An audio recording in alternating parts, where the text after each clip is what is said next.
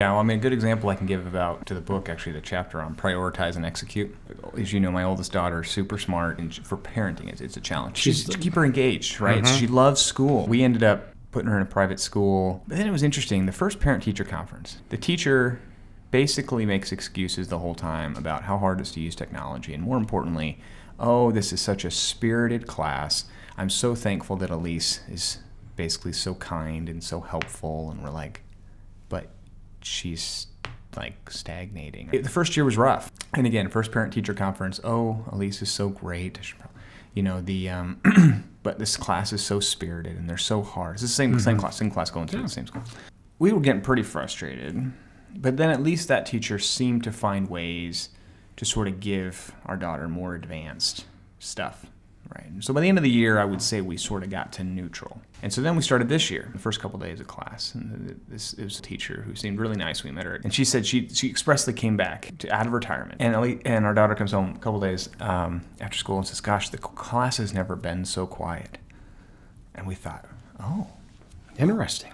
we might be onto something. Maybe finally someone has whipped this class into shape and finally disciplining them to the point where they're all going to learn. And so then we got to parent teacher conference. This is just last week. Oh, I don't have a curriculum. Oh, the class is so spirited. They've passed kids along. There was nothing about our daughter. They're doing no critical thinking. They're doing no critical writing. She's doing nothing in math. She's doing nothing in science. And so, I mean, it, it's just fine.